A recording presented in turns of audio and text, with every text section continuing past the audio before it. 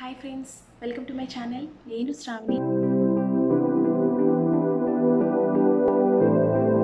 ఈరోజు మనం ఈ సెషన్లో కొన్ని commonly misused phrases in English గురించి తెలుసుకుందాం. అంటే చాలామంది కామన్గా చాలాసార్లు ఇన్కరెక్ట్గా ఉపయోగిస్తుంటారు. అంటే వారు వారి వాడుక భాషలో వారికి తెలియకుండానే వీటిని ఉపయోగిస్తుంటారు. సో ఆ ఫ్రేజెస్ ఏంటి? వాటిని ఎలా కరెక్ట్ చేసుకోవాలి? వాటిని ఎప్పుడు ఎలా ఉపయోగించాలో ఈ వీడియోలో తప్పక నేర్చుకుందాం. సో ఆలస్యం చేయకుండా మన ఛానల్ని స్టార్ట్ చేద్దామా? Let's get started. So first one hunger pains. Hunger pains అంటే మనకి బాగా ఆకలి వేస్తున్నప్పుడు మనకి పొట్టలో ఒక విధమైన ఒక ఫీలింగ్ ఉంటుంది కదా నొప్పిలాగా దాన్ని హంగర్ ప్యాంగ్స్ అనాలి. హంగర్ పెయిన్స్ అనేది కరెక్ట్ కాదు. ఇది వాడుక భాషలో ఇలా మారిపోయింది. మనం ఇతరులకి ఎక్స్ప్రెస్ చేసినప్పుడు హంగర్ పెయిన్స్ అంటే వారికి అర్థమవుతుంది. కానీ అది ఖచ్చితమైన ఫ్రేజ్ కాదు. దాన్ని సరైన ఫ్రేజ్తో ఉపయోగించాలి. అంటే హంగర్ ప్యాంగ్స్ అనేది ఉపయోగించాలి. So next cousin sister or brother అసలు కజిన్ అంటే ఎవరు? అమ్మ లేదా నాన్న సోదరుల పిల్లలు? అంటే పిన్ని బాబాయ్ వీరి పిల్లలు. మనం ఎవరికైనా ఇంట్రడ్యూస్ చేసినప్పుడు she is my cousin and her name is so and so he is my cousin and his name is so and so ఇలా మనం పరిచయం చేయొచ్చు. కజిన్ సిస్టర్ ఆర్ బ్రదర్ అని మనం చెప్పనక్కర్లేదు. సిస్టర్ అనేది బ్రదర్ అనేది ఇక్కడ మనం ఉపయోగించిన అవసరం లేదు. జస్ట్ కజిన్ అంటే సరిపోతుంది. ఇది చాలామంది మిస్టేక్ చేస్తుంటారు. జనరల్గా చేసే పెద్ద మిస్టేక్ ఇది. So next I could careless I could not careless ఇక్కడ ఐ కుడ్ నాట్ కేర్లెస్ అని మీరు చెప్తే దాని అర్థం మీరు తక్కువ పట్టించుకుంటున్నారు. చాలా తక్కువ శ్రద్ధ వహిస్తున్నారు లేదా అసలు పట్టించుకోవట్లేదని అర్థం. కానీ చాలామంది ఐ కుడ్ కేర్లెస్ అనేది ఉపయోగిస్తారు. ఇది యాక్చువల్గా మనం అనుకున్న దానికి ఆపోజిట్గా ఉపయోగిస్తున్నట్టు. So I could not careless అనేది ఉపయోగించాలి. ఐ కుడ్ కేర్లెస్ అనేది కరెక్ట్ కాదు. So next by purpose. By purpose అనేది కామన్గా చాలామంది ఉపయోగిస్తుంటారు. ఇది యాక్చువల్లీ కరెక్ట్ కాదు. ఆన్ పర్పస్ అనేది యాక్సెప్టెడ్ వర్షన్ అంటే ఉద్దేశపూర్వకంగా కావాలని చేస్తున్నప్పుడు. చాలామంది దీన్ని కన్ఫ్యూజ్ అవుతూ సరిగ్గా ఉపయోగించరు. For example I left my umbrella at home on purpose అంటే నేను ఉద్దేశపూర్వకంగా వర్షంలో కావాలని తడవాలని నేను అంబ్రిల్లా ఇంటిలో వదిలేశాను. So next on accident on accident అనేది చాలామంది కన్ఫ్యూజ్ అయ్యి ఉపయోగిస్తుంటారు. ఇది చాలా తప్పు కరెక్ట్ కాదు. సో ఇక్కడ మనం సరైన ఫ్రేజ్ ఉపయోగించాలి. బై యాక్సిడెంట్ సరైన ప్రిపోజిషన్ అనేది బై ఇక్కడ. బై యాక్సిడెంట్ అనేది correct so you can do something on purpose but not on accident for example I slip by accident అంటే నేను పొరపాటున స్లిప్ అయ్యాను. So next one in the same అంటే ఏవైనా రెండు విషయాలు లేదా ఇద్దరు వ్యక్తులు ఒకేలా ఉన్నప్పుడు లేదా రెండు ఒకే విషయాన్ని సూచిస్తుంటే మీరు వన్ అండ్ ద సేమ్ అనే ఫ్రేజ్ను ఉపయోగించవచ్చు. వన్ ఇన్ ద సేమ్ అనేది కరెక్ట్ కాదు. For example I was surprise to hear that Sam's husband and Johnson are one and the same అంటే ఇద్దరు ఒకలే అంటే same person one in the same అనేది వాడుక భాషలో మనం తప్పుగా వింటున్న phrase so next phrase wet your appetite wet your appetite అనే ఫ్రేజ్ యాక్చువల్లీ కరెక్ట్ కాదు. ఇది సెన్స్ కాదు. వెట్ అంటే తడవడం. So correct verb whet W H E T ఇది పాత పదం కానీ ఈజీగా మనం తరచుగా గుర్తుపెట్టుకోవాలి. టు వెట్ యువర్ ఎపటైట్ అంటే ప్రలోభ పెట్టడం లేదా ఎవరైనా ఆసక్తి పొందేలా చేయడం. ఫర్ ఎగ్జాంపుల్ మీరు ఏదైనా ఇల్లు అమ్మాలనుకుంటున్నారు. వారికి ఆసక్తి పెంచేలా మీరు ఆ ఇంటి పిక్చర్స్ని చూపించి ఆ ఇంటిని కొనేలాగా ఆసక్తి పెంచవచ్చు.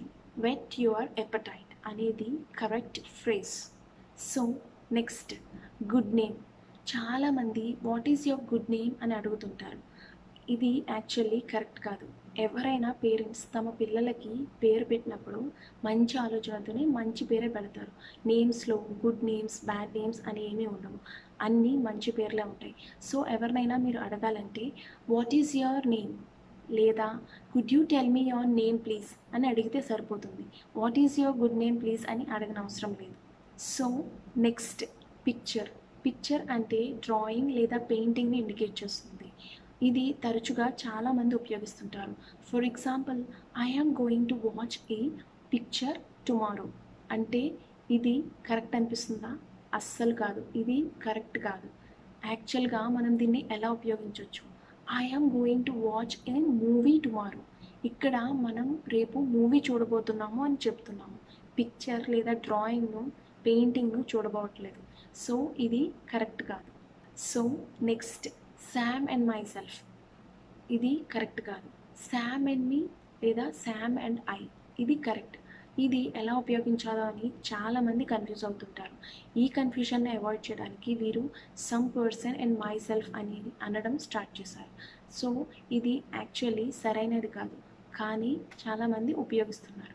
For example Sam and I went to the movie అంటే ఇది యాక్చువల్లీ టూ సెంటెన్సెస్ రెండు పార్ట్స్ లాగా చేస్తే Sam went to the movie and I went to the movie అని అర్థం వస్తుంది.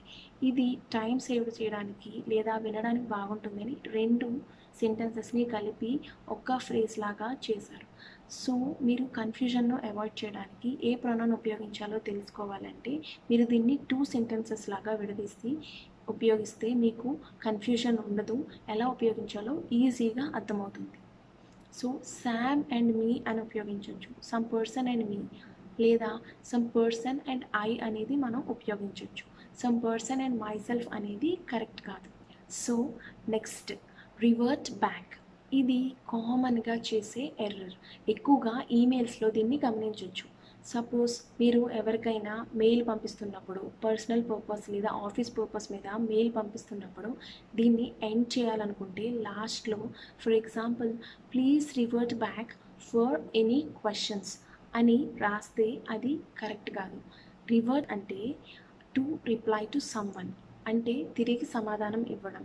ఇక్కడ రివర్ట్ అనేది ఒకటి సరిపోతుంది.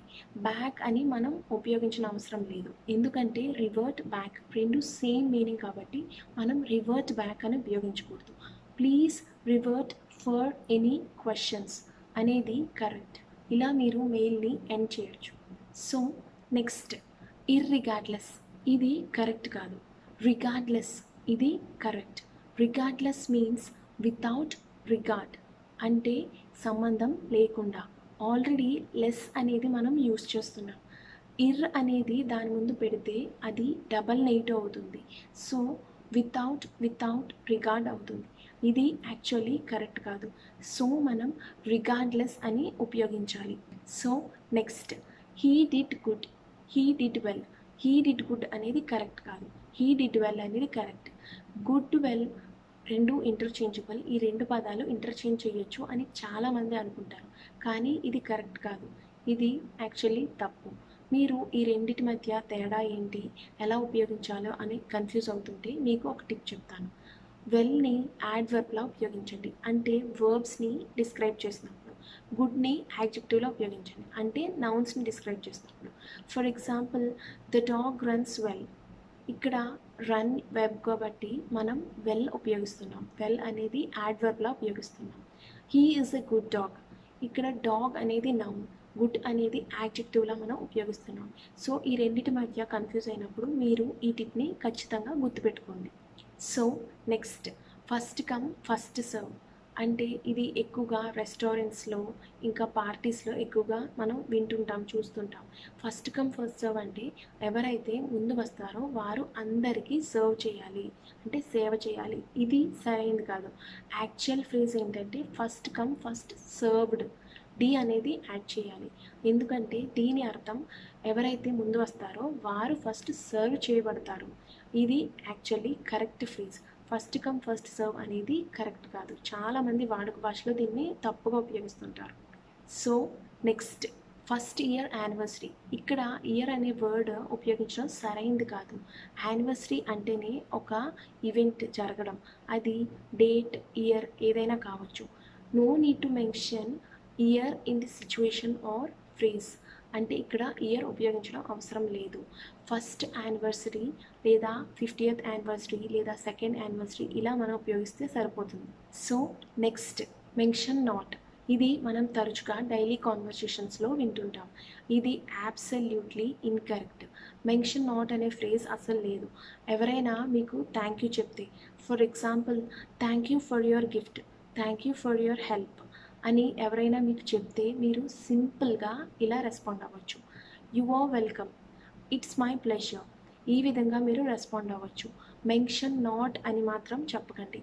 ఇది కరెక్ట్ కాదు. సో లాస్ట్ వుడ్ బీ ఎవరైతే త్వరలో పెళ్ళి చేసుకోబోతున్నారో మీరు మీకు కాబోయే వారిని హస్బెండ్ని లేదా వైఫ్ని ఇతరులకు పరిచయం చేయాలంటే he is my would be husband లేదా she is my would be wife అని పరిచయం చేస్తారు.